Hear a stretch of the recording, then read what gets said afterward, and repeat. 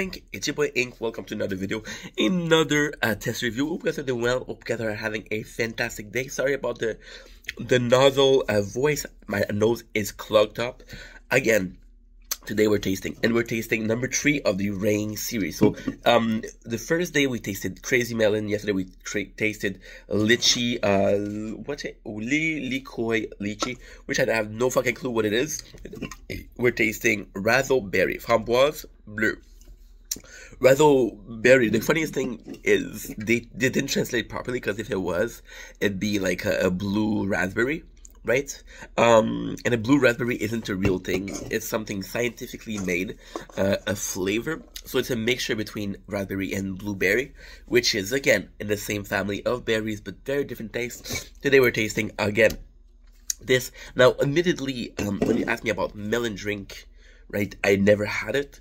Um, when you ask me about lychee, I, I almost never had it. And when you ask me about this, well, if you ask me about a raspberry drink, every single energy drink, every single soda, um, every soda pop company does this. So, um, it's not the most original, but it doesn't matter if it's not original. If it's not original, but somehow distinguish itself. I'd rather have a product that I saw a thousand times and say, wow, it's a really good product, then I have a product a hundred times and say, hey, this is the same thing we had every time.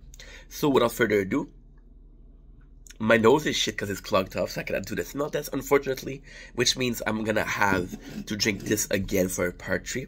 Now, did I clog up my name, my, my nose on purpose to get to try this again?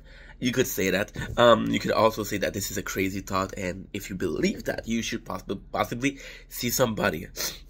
It's hard to talk because I like to breathe with my nose. So when I'm breathing with my mouth, it cut the sentence. And you know I'm not the kind of guy to take breaks when he talks. So kind of crazy.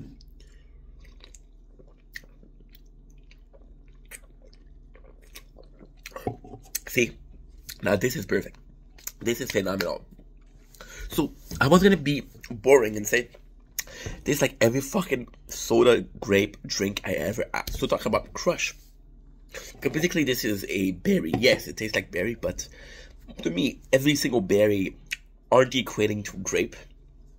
And um, yeah, so to me this sound this tastes and sounds like a normal grape um, drink.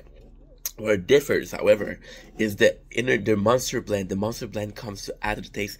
The monster blend is like, yo, guess what? This is actually pretty fucking good. And because we're adding the, the grape it's it's amazing. It's a grape soda with energy drink, and you realize that most of monsters are just soft drink. They're just sweet. But the fact that Monster Blend is something that we recognize that we had to the mix, like, yo, this drink is familiar but somehow different. And that's what I want. That's what I need here.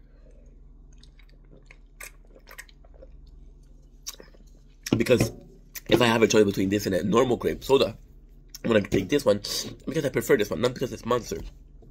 And the truth is, the Monster Blend had. Now, this is a risky move. If you don't like Monster Blend, you're saying, yo, this tastes, it doesn't taste as good as a soda pop. But if you do like it, it's kind of great. And again, I know I'm repeating myself, but simplicity won the cake.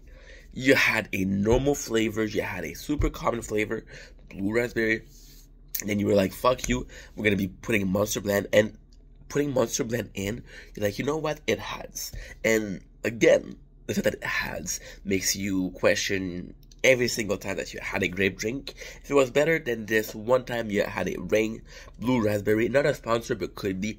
Love you guys. Peace.